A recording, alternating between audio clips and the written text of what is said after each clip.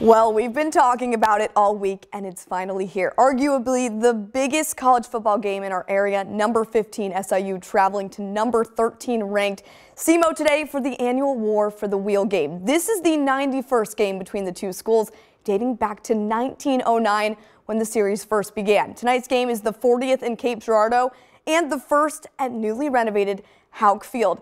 And here is what's on the line tonight. The wheel has been sitting in SEMO's locker room for a year now. The Salukis had it the previous two years. Tonight's game, a sellout at Houck Field. That's the first since 2010 and both teams giving these fans something to cheer about. We get this one started late in the first quarter. Scoreless game. Paxton DeLaurent looking deep. He finds Dallin McDonald in Saluki territory. Redhawks finish off the drive with a field goal. They led 3-0 after one. We're going to head to the second quarter. Redhawks up 6-0. Southern pinned back into its own end zone. The SEMO defense swarms Roe Elliott, and it's a safety. Redhawks up 8-0 now. Final minutes of the first half. DeLaurent connects with Mitchell Sellers in the end zone for seven. SEMO shut out the Salukis in the first half, 15-0.